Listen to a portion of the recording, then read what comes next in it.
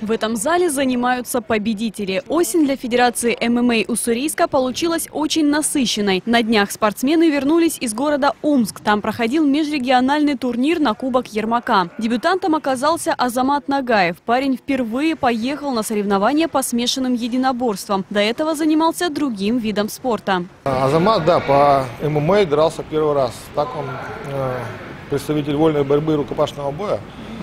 Ну вот мы переквалифицировали его, год тренировок, он очень хорошо себя показал в этом виде спорта, в нашем виде спорта. В сумме Азамат провел три боя. В финале он вышел в октагон с соперником из Омска Кириллом Едалиным. Сейчас спортсмен вспоминает, этот бой был самым трудным. Работали в ударной технике, в стойке и даже немного ушли в борьбу. Едалин не собирался отдавать победу, но в третьем раунде нашему бойцу удалось удачно сделать захват, который решил исход поединка. Все время рядом с подопечным был тренер Сергей Сумароков.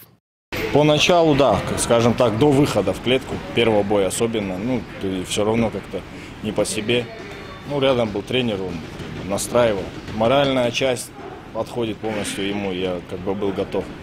Ну, а уже в клетке все пошло по сценарию.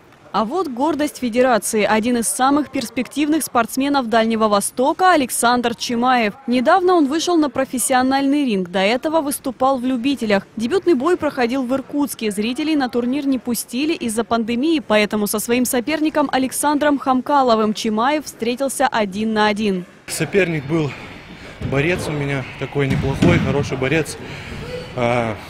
Ну, мы готовились к этому, на самом деле. Хотелось, конечно, подраться, а, больше ударов в стойке провести, какие-то там свои заготовки. Ну, чуть-чуть бой пошел не по плану. Э, пришлось перестраиваться под соперника и, как говорится, план «Б».